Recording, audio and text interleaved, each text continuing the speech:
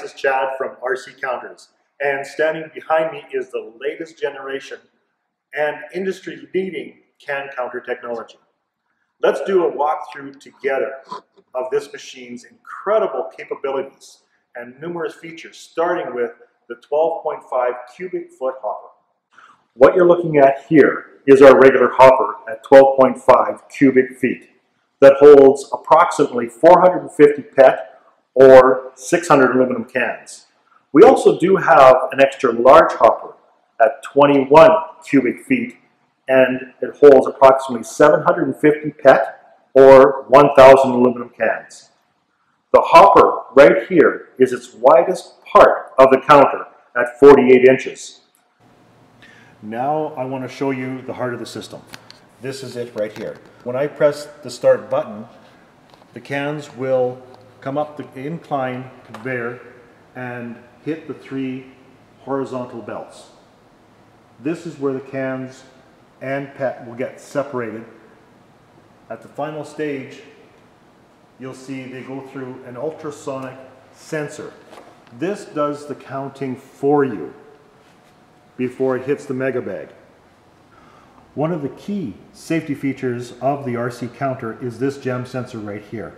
It will detect a buildup and within three seconds it will shut down the machine where you will come and sort the jam or the blockage that is here and then restart the machine. All of our RC counters come with touchscreen computers. As we were counting the PET, the plastic containers that were going into the mega bag, we had a PET count. So that's shown up here, 56. Now if we go to PET batch, this number will drop down to the bottom. So that says how many are in your mega bag. This is for the new customer. So when the new customer puts in the hopper, his containers of PET, it will show here. And the bottom one here will actually count as well as a total in the mega bag. When you have a new customer, you will press reset.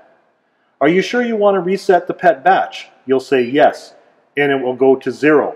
But your final total count, what's always in the mega bag, will be on the bottom to the preset settings inside this computer. I'd like to take you one step further into the RC computer. Now you see the setting up here that says settings. If you press that on the touch screen, you'll see the pre presets here. Now these are your preset values. For the can, this RC counter is specific for the PET. So you'll see the 1440 here. You could change that to any value you wish. You could go back, which erases, and then put in your value to whatever you want. You save it.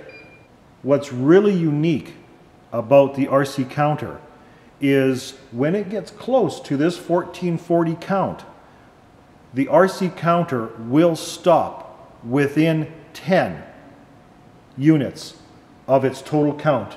And this is really nice because if you screen over here, you will go back over here to the jog button. This is where it will start up the machine as long as you're holding this button in. You're obviously wondering how accurate our RC counter is. Well, I've pre-counted 50 PET containers in here. Let's just see how accurate the RC counter is.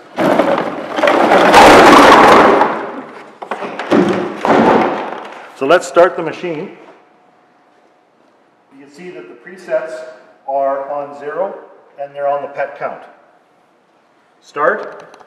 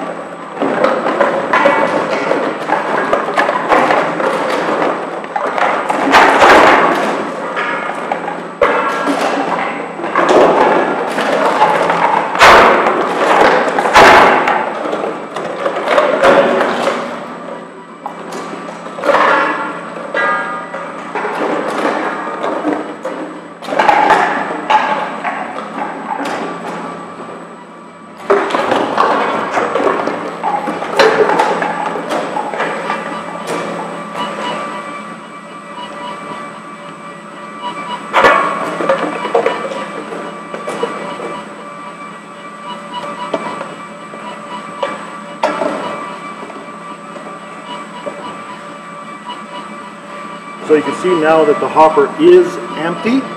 The conveyor is going. There is no more containers left at all. You can see how quiet the machine is too.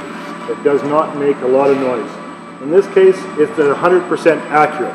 But as you deal with larger volumes, the accuracy will be within 99.5%.